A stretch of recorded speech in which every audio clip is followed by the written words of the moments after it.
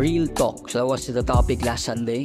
Yun yung second installment of our relationship series. And we're going through this so that we can align our relationships based on what the Bible says. Kasi God has designed relationships. Eh, God is a God of relationship. He, he authors relationships, I mean.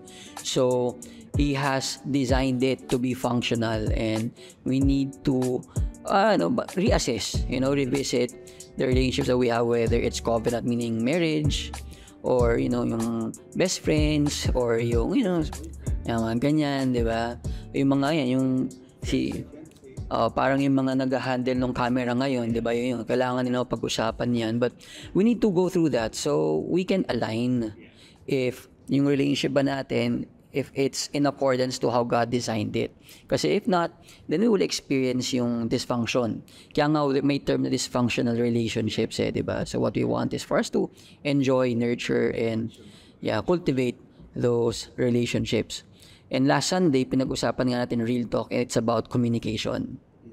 And ang dami actually, ang daming ano, ang daming facet nung ano nung uh, topic last Sunday. Pero one of the things that uh, I think we can both agree naging highlight sa atin is listening.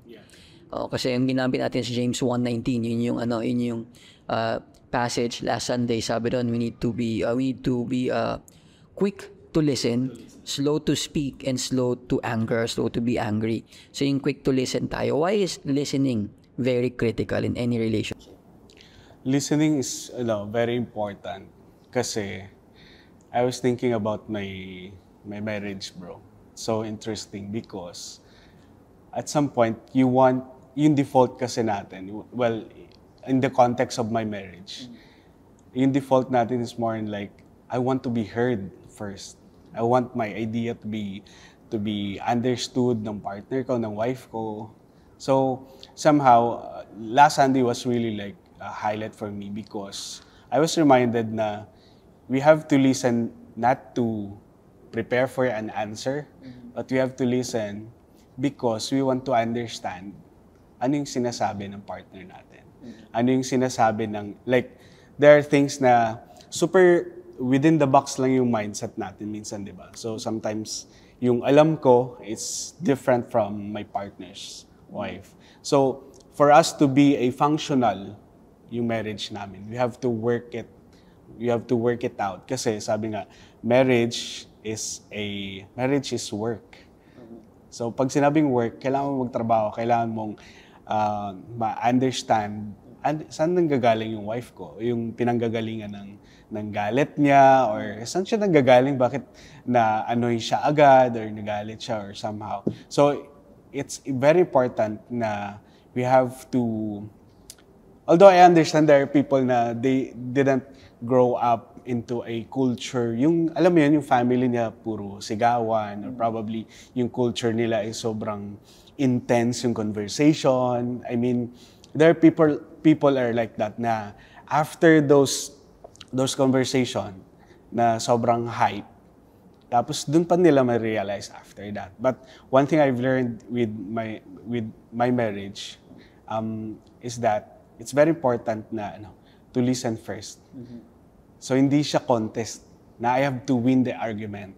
Hindi hindi siya competition na kailangan kong manalo as a husband kasi ako husband eh. Dapat ako yung leader. Hindi. So I have to listen first. It will take a lot of, you know, hot HOT, hot uh, humble, open and transparent mm, conversation. Kala ko nga ng hot yan.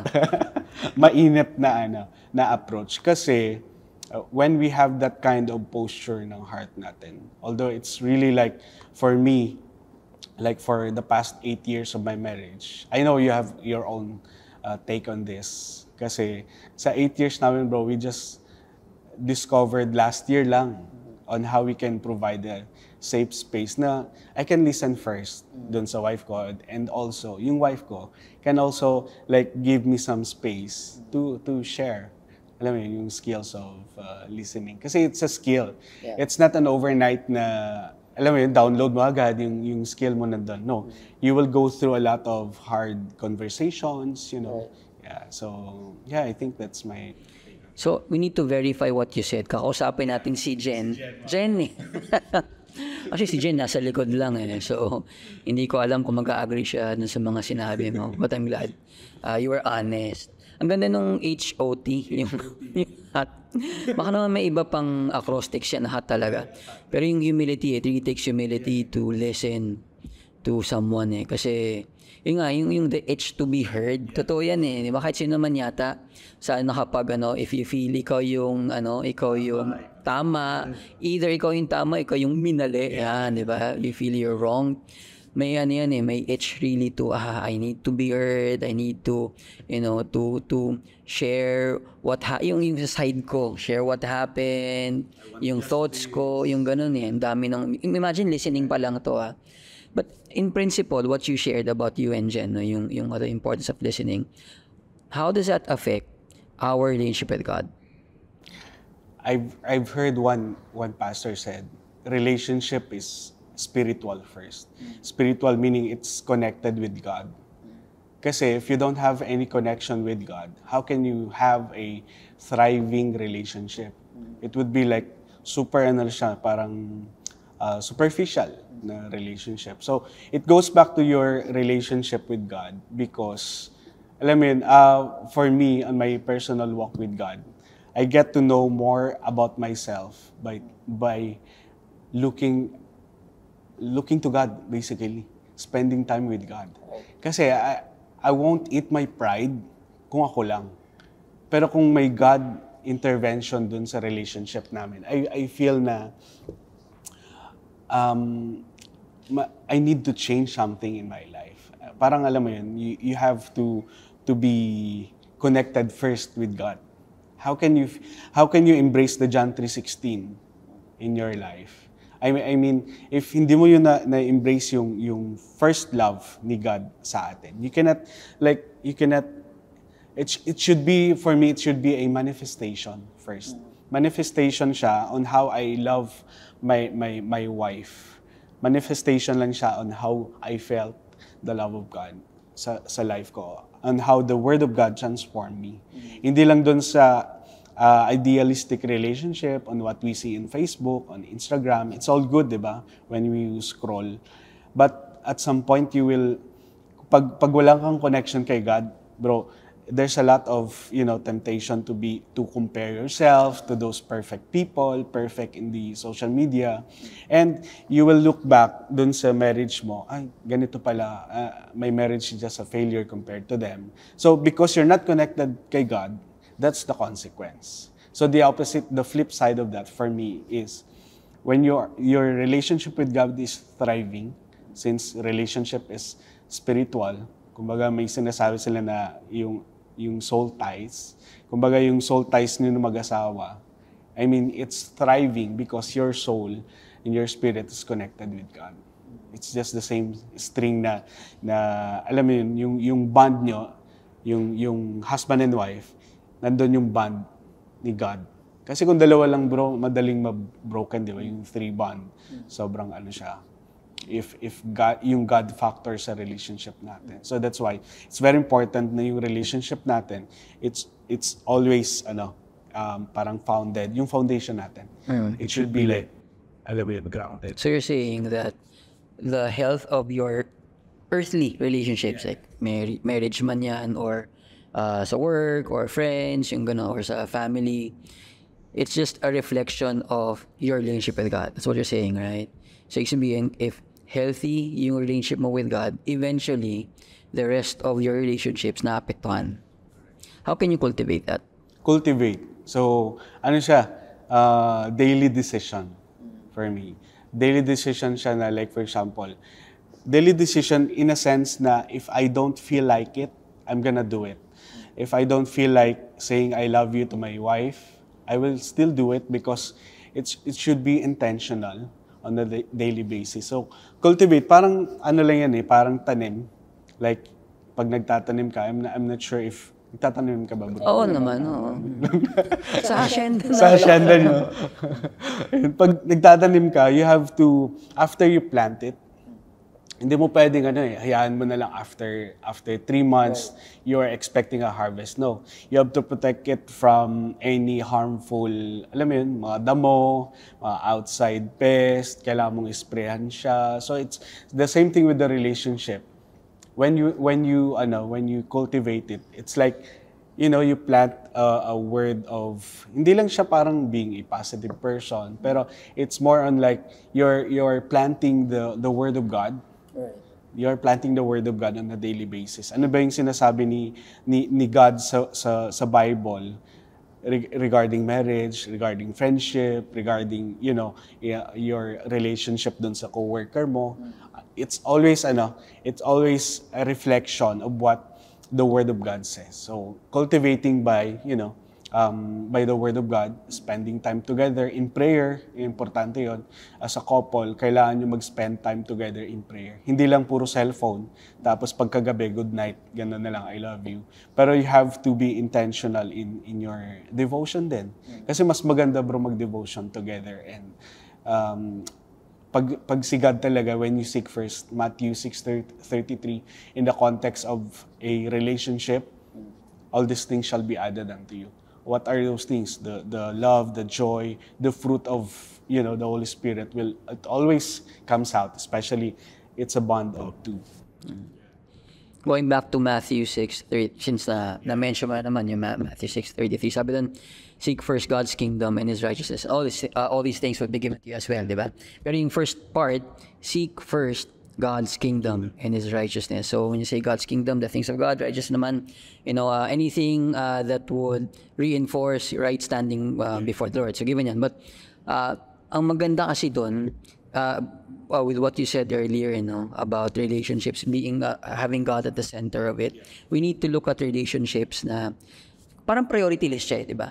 So, you have God. Usually, ang yung priority list natin, God, and then family, tapos work, ministry, ganun-ganun eh, di ba? But dapat talaga si God kasama sa lahat. It's not just the priority, is the center. So, if you would look at your priority list, it should be God, God and family, God and work, God and ministry, blah, blah, blah. So, pagdating sa relationship, same thing. Uh, Ecclesiastes, yung sinabi mo kanina, na a, a, a, a, a bond of three strands is not quickly broken, right? So, kung kasama si God doon, if God's at the center of any relationship, whether it's marriage, or uh, friendship yan, or sa office mo, as long as He's at the center, it's not a guarantee na walang conflict. It's not a guarantee. Kaya nga ano eh, kaya nga yung James 1.19, quick to listen, slow to speak, slow to get angry, or slow to anger. Kasi uh, it's in the context also of conflict resolution. But as long as God is at the center, there is, alam mo yun, there is peace, there is harmony, and you know there is hope for restoration. So another question, ito kasi yung medyo mahirap i-resolve eh. What if ikaw listener ka, pero yung kausap mo hindi?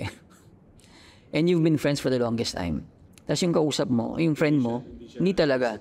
So, what do you do? Anong gagawin mo? Ngayon bro. Diba? Kasi Kasi ayaw makinig eh. hindi siya receptive eh. O, alam mo yung kausap mo. Yeah, parang yeah. Oo. kinakat kita. Merong kasi number one for me, I will accept the reality. I don't live into those parang ideal world na pag yung friend ko ganito, I'm not supposed to, alam mo yun, to change the the character of that person. I always believe on that, ano, parang right timing. There will come a time na yung humbling season ng person na yon, he, he will become parang vulnerable na akala ko I, I, I, I knew it already. Parang know it all ako na person. Pero I would say at some point, darating yung time. So, ibig sabihin, yung listener na person na yun, o kung ikaw man yun or ako, I will keep on praying to God. Kasi I don't want to to have that kind of friendship na ako lang lagi nag-absorb ng ano, di ba? There are, although sabi sa Bible doon, we, we carry the burden of that person. But in in the context of discipleship, kailangan natin mag, kung lalaki man yun, mag-man up. Kailangan natin mag-grow together. So growing, it involves, alam mo yun, you have to set aside your preferences, you have to set aside your, minsan, uh, yung, yung prideful na ano, na I want to be heard, ako na lang lagi yung, yung center ng story ng, ng, ng group natin. So, at some point, kailangan nating ano, i-correct din. Pero, ano eh, case-to-case basis din siya eh. I, I, I, I cannot say na, ay, correct mo siya kasi mas lalong hindi siya makikinig. Kasi nga, he's not ano, listener. So, it's, ano, it's a daily commitment rin na I won't give up on this friendship just because we have different preference. It's just that we have to agree na at some point, we have to have those hard conversation na bro, na alam mo yun, you have to explain to that person na not not all the time, alam mo yun, kailangan niya rin maging listener. Listener in a sense na, okay, I just want to to hear your side, pero ito pa rin yung gusto ko. pero that's how you grow in your relationship. There, there, there will come a time also that that person will meet another person Right. na baka almost the same sila na personality. Ganon. So, darating yung point na ganon. Yeah. Tapos mag-away sila. Mag-away sila. I don't want to touch on ano, I don't want to touch on confrontation Yeah, yeah. saka conflict resolution because I, I think Pastor Nolan will cover that. I will cover that. I was gonna cover that in one of the Sundays. So hindi ko lang alam kung this coming Sunday or the following. Hindi ko alam eh. Pero I'm sure he's gonna cover that part. So I won't touch uh, on ano no uh, conflict resolution. But I'd like to ano I'd like to bridge this yung listening saka forgiveness.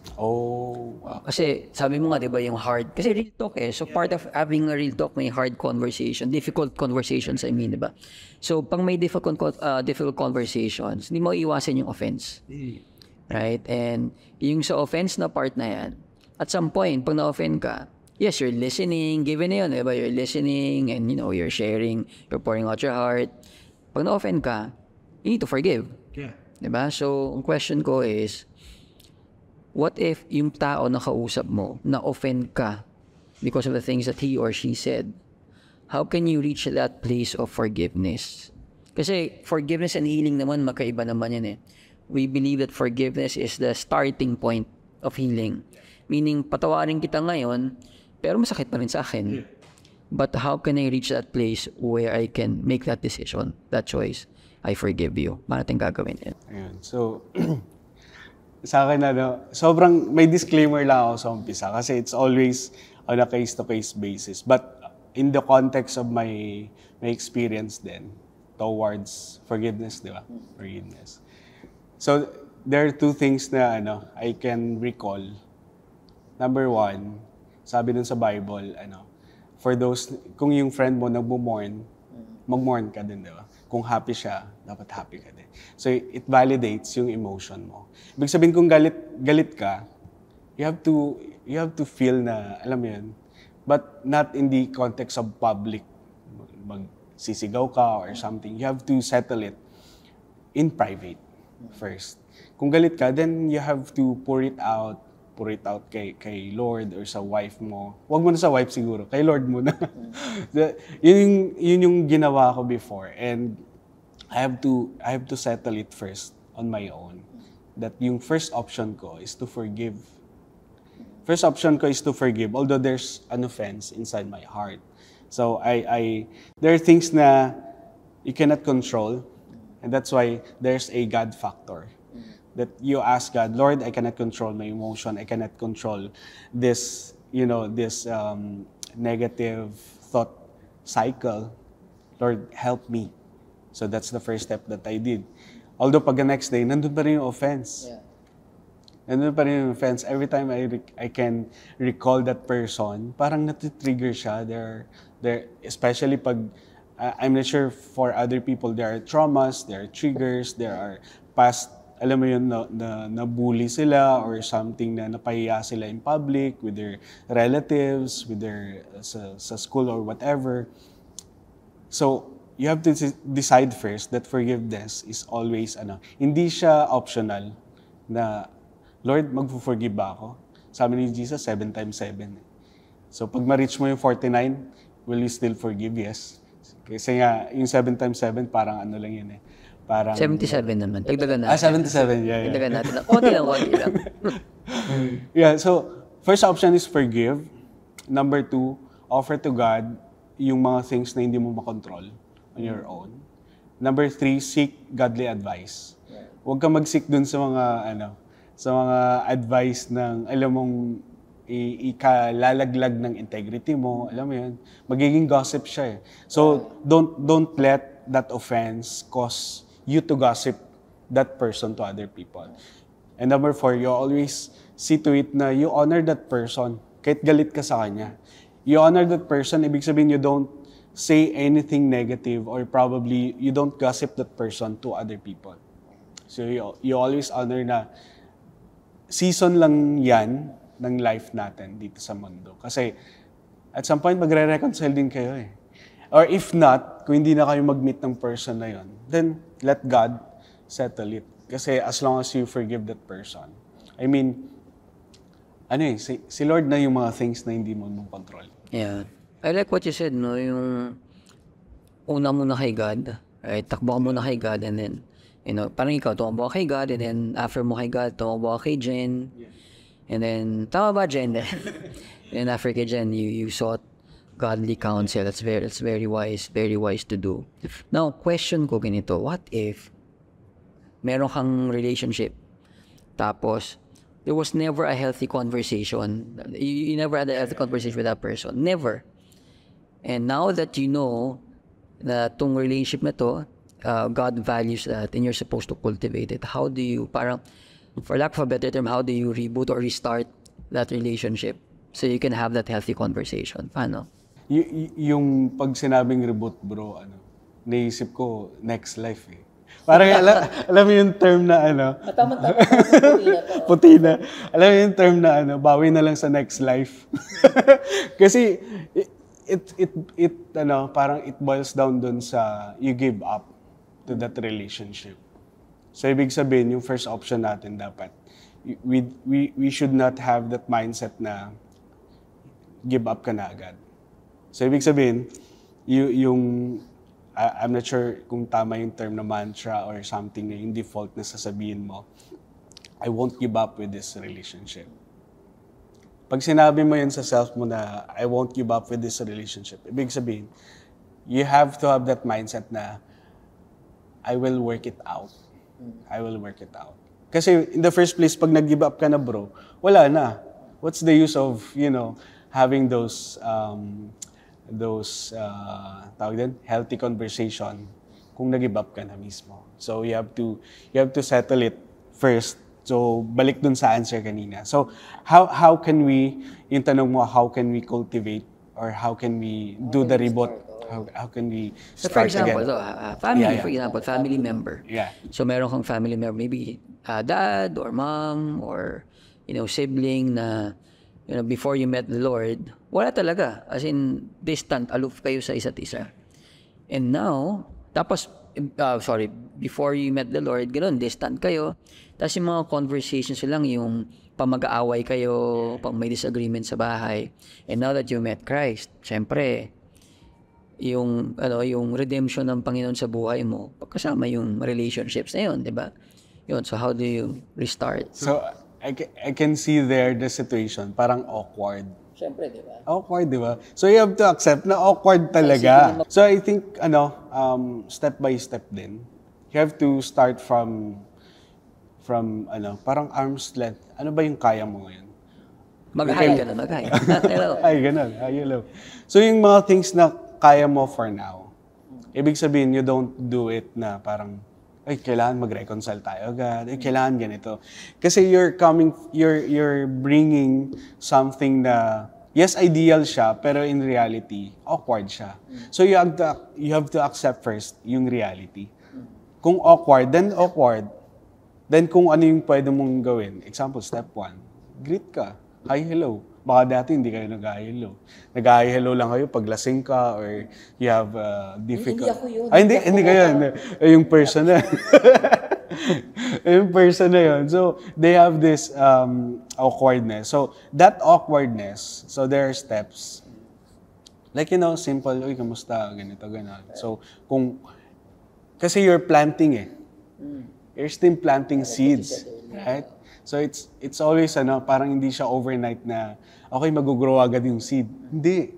You have to you have to accept the reality na you have to start from the scratch. You have to cultivate the soil, you have to cultivate the the relationship again. How paano yung yung ano niyo parang yung usapan nyo. So you have to cut siguro yung mga toxic na conversation before. You have to you have to lead hopefully that's a complete reset already. Like yung awkwardness, lagi may yung yung tawag din, yung term na frequency. You have to be frequent to be to be you have to be consistent of what you do. Hindi pwedeng nag-high-low ka ngayon, next week wala na. So dapat ano 'yun? Kung kung if if the opportunity ano comes, you always grab that opportunity to have a, a healthy conversation again. Like a simple hello. So you have to start there and be intentional. What's your next step? Ano yung next step mo? Hindi pwedeng go with the flow ka lang. Dapat may, you have to guide the conversation. Kasi yung isang person na yun, baka hindi rin siya willing to have conversation with you. Di ba? So you have to gauge then, step by step. But you're planting already. You plant and plant.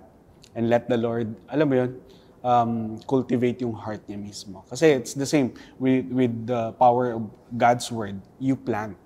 It's God who who do the Makes it, makes it yeah, yeah. Wow. Bro, alam mo, I I love that we were able to talk about forgiveness, we were able to talk about listening, but syempre may, you know, may hangganan tong podcast na to, so, so bitin as usual. But we need to, eh, eh, we need to encourage everyone, if you're not part of a connect group yet, this is the time for you to be part of one, to get connected. Kasi yung, yung sinasabi namin na real talk, you can experience that there na yung, you know, you go to a, you attend a connect group, hindi naman plastic yung mga tao doon. Hindi din sila perfect. But these people are, you know, they're going through, you know, through, you know, they have challenges, they're going through things. But what, what I love about the connect group is they know that they all need Jesus. So it's a place for you to experience and grow in Jesus together. So if you're not part of a Connect group, please be part of one. I think it's about time na yung real talk may experience sa mga tao. Eh. Kasi I think it's it's something na scars sa labas, you know, outside the church walls. You don't really experience it kasi ang daming plastic, ang daming, alam mo yun, sip-sip, or yung mga yes man lang. So you need someone who can really be honest and real with you. Amen. Yeah. I think that's the beauty of Connect, bro. I totally agree, bro. Uh, alam mo yun, you have to nurture the relationship, not just inside the church, but ano yung follow through. Follow through conversation. Yeah.